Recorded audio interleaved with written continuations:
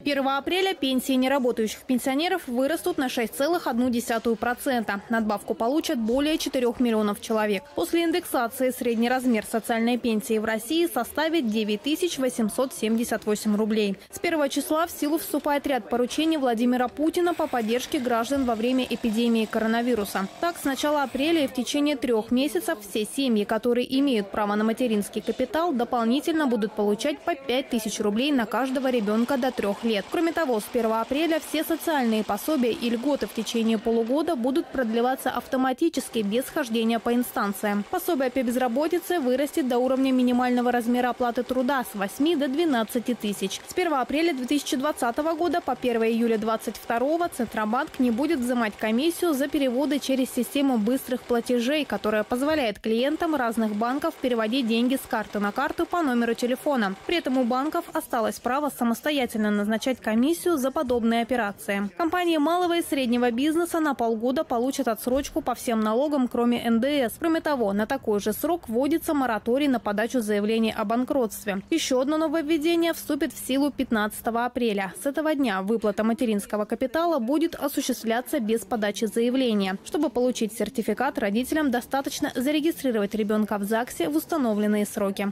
Екатерина Деревянко, Афонтова, Новости.